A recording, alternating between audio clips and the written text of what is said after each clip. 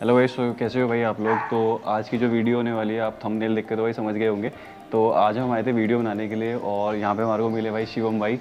तो इनका भाई का चैनल है यूट्यूब चैनल बहुत बढ़िया है तो आप भाई का चैनल भी सब्सक्राइब करना।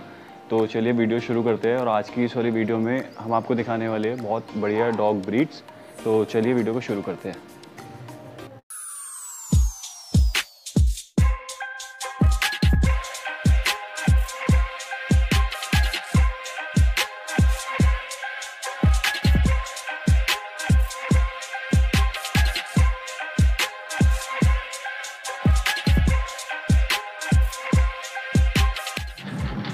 तो गाइस ये देखो ये है पूडल्स और पूडल में कलर देखो ये है प्योर ब्लैक ये है पूडल का पपी और एक ये है अपने पास ये भी पूडल है और ये देखो यार कितने एक्टिव पपीज़ है। तो इसकी अभी ग्रूमिंग करिए करी है ना क्योंकि अभी थोड़ी सी गर्मी थी इस वजह से इसकी ग्रूमिंग कर रखी है।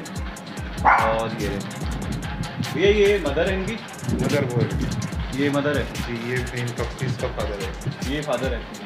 और ये पपीज़ हैं इनके। ये इन्हीं के पपीज़ हैं? जी जी जी ये इसके पहले लीटर का है और ये इसकी बार अच्छा तो भैया इस ब्रीड को बोलते क्या है टॉय पुडल टॉय पूडल बोलते जी हैं भैया अगर किसी को आप किसी को इन ब्रीड का पपी चाहिए तो आपके को मिल जाएगा? बिल्कुल मिल जाएगा।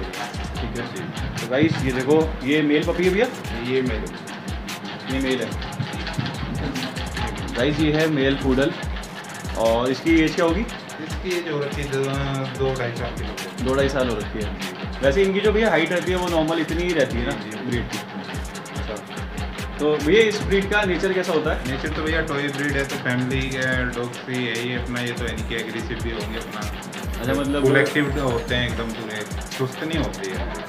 मतलब फुल एक्टिव ब्रीड होती है। फुल एक्टिव ब्रीड अच्छा तो जैसे इनकी हेयर्स वगैरह गर्मी में ग्रूमिंग वगैरह करवानी पड़ती है होगी करा दो हाँ भैया करवानी पड़ती है। अच्छा और एटमॉस्फेयर इनके लिए कैसा ज़रूरी रहता है? तो अपने यहाँ पे नॉर्मली कोई ऐसा कि नहीं कि अलग ही कुछ चाहिए अपना जो नॉर्मल है वही। अच्छा नॉर्मल पंखे और कूलर में इजीली रह लेते हैं। मतलब गर्मी वगैरह इतना फ़र्क नहीं पड़ता कुछ नहीं है देखो अपने यहाँ पंखे में ही हाँ मतलब हार्ड ब्रीड है। जी। ठीक है। तो गाइस ये देखो ये लेके आए हैं हम आपके लिए पूडल्स के पपीज़ और भैया मेल फीमेल है मेल है? दोनों फीमेल है भैया ये पहले लीटर की है की बार की इसके साथ की मैंने दो फीमेल सेल कर दी ये मेल बच्चों अच्छा और इसकी एज क्या होगी लेफ़्ट वाले की? इसकी आठ महीने करीब हो ये आठ महीने और ये पपी की?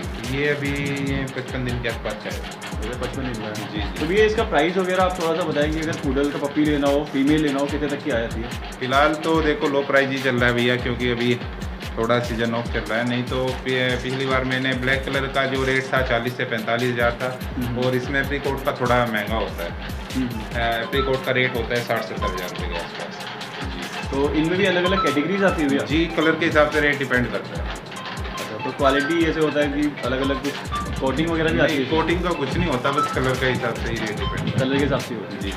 तो कितने कलर आते हैं इसमें? इसमें तो तीन चार कलर आते हैं। वाइट कलर भी आता है उसका अपना चॉकलेटी कलर आता है। ये जो मेल है अपना ये अपनी कोट में है ये फीमेल है ब्लैक कलर में भी। ओके वाइट आता है चॉकलेट आता है और ब्लैक कलर आता है ये वाला जो है ग्रूमिंग मेल है फीमेल है? फीमेल है भैया ये मदद